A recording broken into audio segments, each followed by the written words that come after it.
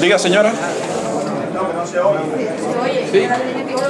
Más que una pregunta, como nicaragüense, agradezco profundamente la labor de todos ustedes.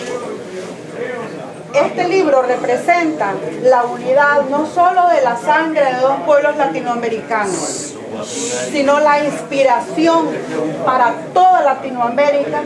Y este libro, hoy más que nunca, tiene una vigencia increíble cuando todos los latinoamericanos estamos luchando nuevamente para consolidar las democracias en Latinoamérica.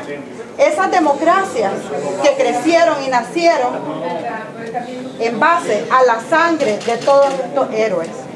A ustedes les agradezco profundamente en nombre de todos aquellos que luchamos por esta democracia y les pedimos no, no dejen de escribir.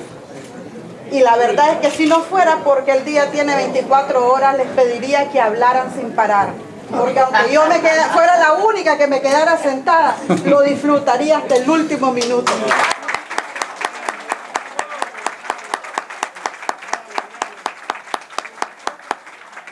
Bueno, le, le... que nos enviaron a este gran hombre a estar al lado